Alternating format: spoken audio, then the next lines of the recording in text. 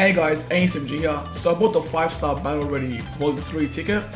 We'll quickly look at the characters and see which ones I have and which ones I do. And which ones I want.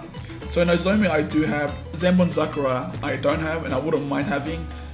Zabimaru I don't have either and I'll definitely love Zabimaru, especially that damage reduction link. Kisuke I don't have. Suzumebachi would be honestly the best uh, outcome. Katen I definitely have. Shinji I got. Rukia I have. Mayuri I don't. Wouldn't mind the link though. Tag Team Byakuya I do have. Tag Team Shunsui I don't. Plus it's, a really decent link. Normal attack damage. Momo I don't have either. Muro, I would like Muramasa actually. He's one of my favorite characters in the anime. I also wouldn't mind Rangiku or Sajin. So out of this list I have one, two, three, four, five. So five out of 15.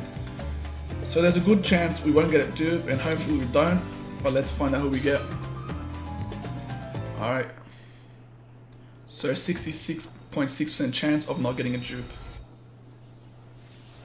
悪いけどうちの子たちは帰って僕と遊びたいってさ Nice, it's not a dupe. A, de decent link, in NAD. So definitely locking him. And definitely gonna 6 star him. So guys, if you enjoyed this video, like and subscribe for more Bleach Brave Souls content and enjoy your day.